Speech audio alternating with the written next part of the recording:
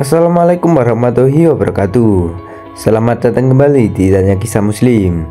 Dalam agama Islam terdapat berbagai aturan dan tata cara yang mengatur tentang berbusana dan berpenampilan Termasuk juga dalam hal gaya rambut. Gaya rambut yang tidak sesuai dengan ajaran agama Islam dapat menjadi hal yang dilarang.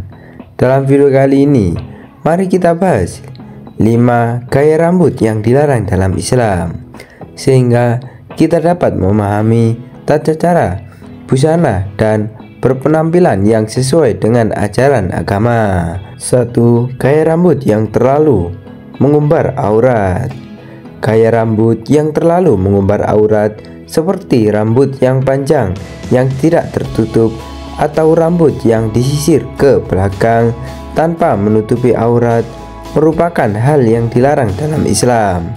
Aurat wanita termasuk di antaranya adalah rambut sehingga sebaiknya rambut wanita ditutupi dengan hijab atau jilbab. 2. Gaya rambut yang berlebihan atau berantakan.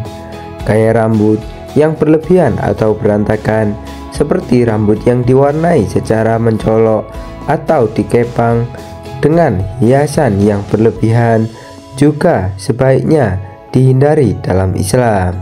Islam mengajarkan untuk menjaga penampilan yang sederhana dan tidak berlebihan. 3. Gaya rambut yang menyerupai laki-laki.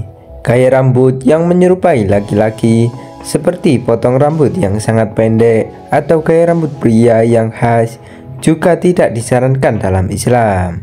Wanita sebaiknya mempertahankan ciri kefemininan dalam berpenampilan dan berbusana. 4. Gaya rambut yang mengandung simbol atau atribut negatif.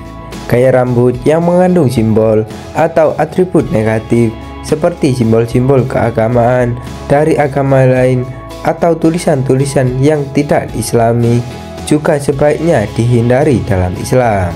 Islam mengajarkan untuk menjauhi hal-hal yang dapat menimbulkan kesalahpahaman atau menyerupai praktik-praktik non-islami 5. Gaya rambut yang tidak bersih dan rapi Gaya rambut yang tidak bersih dan rapi seperti gaya rambut yang kusut atau berminyak secara berlebihan juga tidak disarankan dalam Islam Islam mengajarkan untuk menjaga kebersihan dan kerapian dalam berpenampilan sebagai bentuk penghormatan terhadap diri sendiri.